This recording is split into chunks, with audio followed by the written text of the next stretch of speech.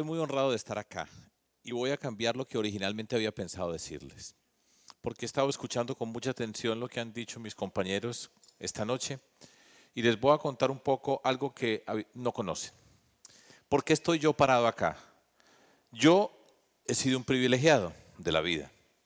Nací en una familia con todas las oportunidades en mi mano. Tenía las puertas abiertas para escoger mi camino.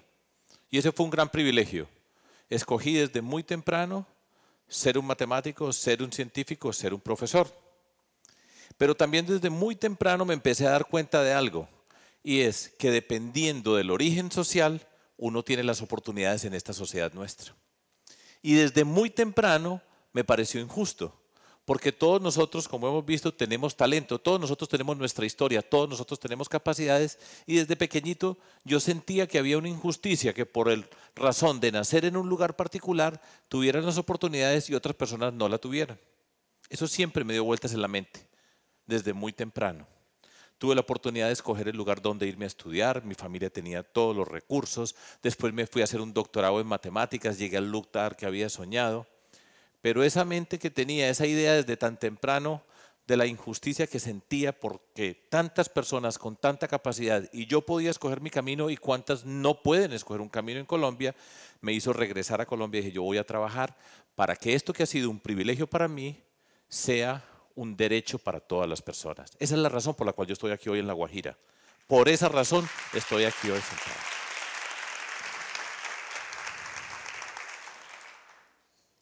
Momento. Y fíjense ustedes que después de empezar en este mundo, yo soy un profesor, me siento orgulloso de ser un profesor, eso es lo que me distingue, eso fue lo que yo escogí, eso fue lo que yo soñé. Ya viejo, a los 43 años, descubrí algo muy importante.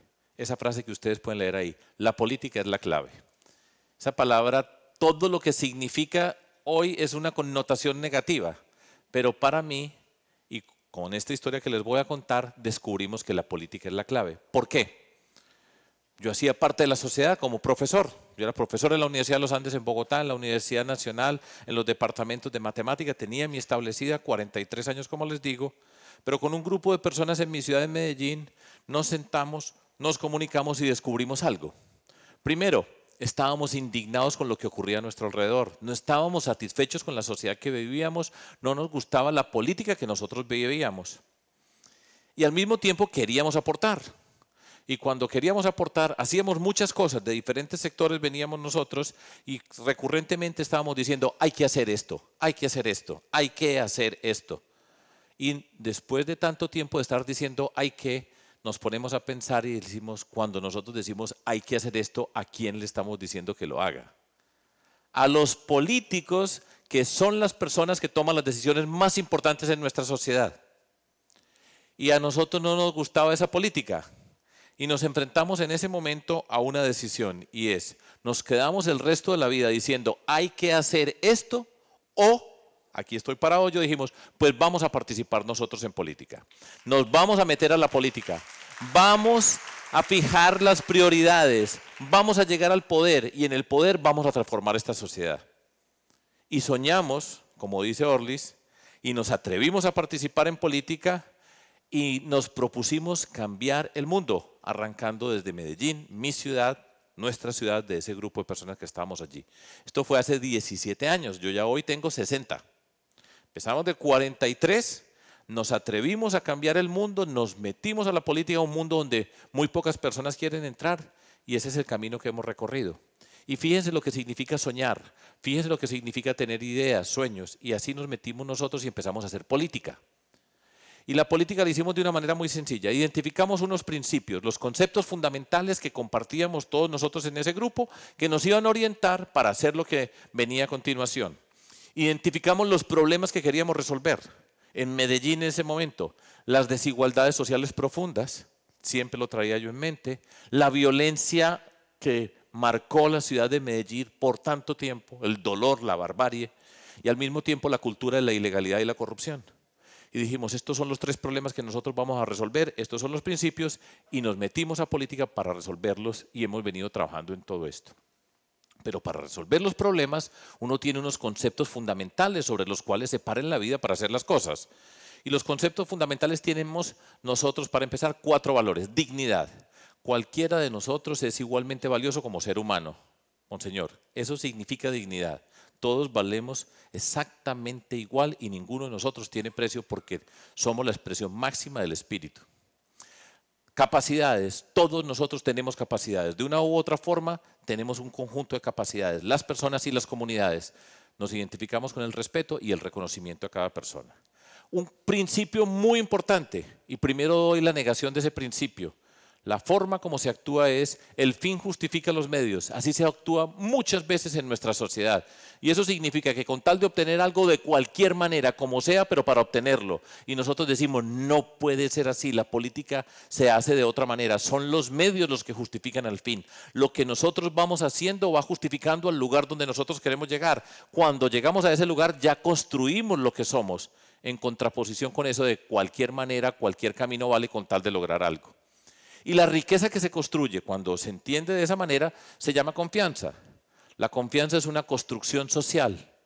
La confianza se construye con una fórmula muy sencilla que yo pongo allí, que es siendo coherentes. Y ser coherentes significa que cada paso que vamos dando no contradice los pasos anteriores y ser consistente, que significa los principios que tenemos desde el primer día, los hemos respetado todos los días, a todas las horas. Nosotros no cambiamos de principios dependiendo de dónde estamos, sino que mantenemos los mismos principios. Si uno es coherente y es consistente, después de 17 años, lo que nosotros hemos construido es la riqueza que tenemos y se llama confianza. Y entonces empezamos a llegar al poder. Nos decidimos empezamos a actuar, identificamos los problemas, los principios, sabemos sobre qué, bases estamos parados, cómo vamos a llegar y llegamos a algo que es muy importante para La Guajira, para Colombia y para nosotros todos los días, y es cómo se llega al poder y cómo luchamos con la enfermedad más grave que tiene hoy nuestro país, que se llama la corrupción. Y eso es muy importante entenderlo porque hay una fórmula, una fórmula que no falla para luchar contra la corrupción, la transparencia que todo lo que nosotros hacemos se vea. Ya les voy a explicar un poquito más. Y basados, como nosotros creemos, en los medios justifiquen el fin, basados en la siguiente expresión, de la forma como se llega al poder, así se gobierna. Fíjense muy bien, ¿cómo llegó? Así va a gobernar. Y lo pongo aquí, perdón, en una gráfica, no se las voy a explicar todas, simplemente digo que hay dos caminos. Hay el camino de la transparencia y la legalidad, donde nadie tiene precio, está el camino de la corrupción y la oscuridad, donde los corruptos al que tiene precio se lo encuentran. Esa es la diferencia. Usted tiene precio o tiene principios. Escoge un camino o escoge el otro. No es que yo pueda hacer un poquito aquí y un poquito acá. Es una decisión que uno toma con respecto a cómo se enfrenta a la política y a lo público. Y por un camino, el de la transparencia y de la legalidad, todo se ve. Las personas se reconocen por su mérito y se construyen las oportunidades. Por el otro camino, en lugar de los medios justifican el fin, es el fin el que justifica los medios, a quien tiene precio se lo encuentran y todos los que pagan para llegar tengan la certeza de que llegan a robar. Un voto comprado es un robo asegurado.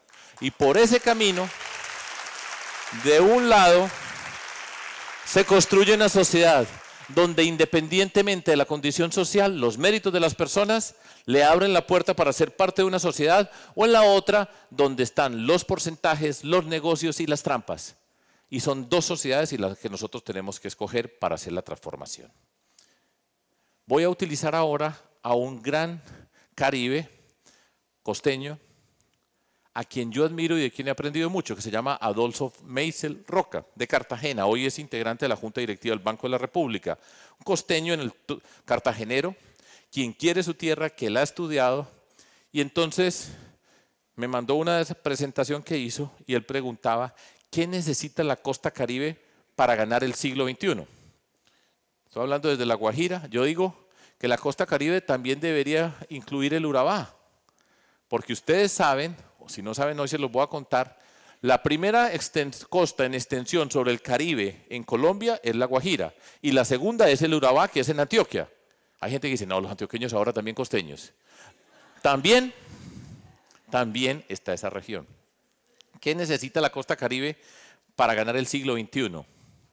Les voy a presentar algo maluco. Mire lo que viene. Este se llama el índice sintético de la calidad de la educación. No se preocupen si no lo entienden, pero miren la tabla y miren esa tabla, la clasificación en Colombia y tiene 31 Baupés, 30 Chocó, 29 La Guajira, 28 Magdalena, 27 Bolívar, mire dónde está Sucre, Córdoba, San Andrés, Cesar. Abajo, el Caribe, con toda esa inteligencia que tiene esta región, con todas estas capacidades, están de últimos en el nivel más bajo del sistema educativo de Colombia. Miren, por ejemplo, estas pruebas. Las pruebas, a ver, no se preocupen mucho por los detalles. En lenguaje y en matemáticas, quinto de primaria. Miren la ciudad capital que está de última, Riohacha. En esta inteligencia de pueblo, ¿sí? Y de últimos. Las pruebas Saber Pro después de la educación superior, vuelvan y miren dónde está la condición. Ese lugar no puede ser. Maestrías y doctorados, no nos preocupemos, pero esto es lo que dice mi amigo, eh, mi amigo Adolfo. Dice, es la educación. Para que el Caribe gane el siglo XXI, le tenemos que apostar en el Caribe a la riqueza más grande que tiene el Caribe, que es el talento. Pero el talento se tiene que desarrollar y solo se desarrolla con la educación. Si no se le apuesta aquí a la educación, no va a pasar nada. Muchísimas gracias.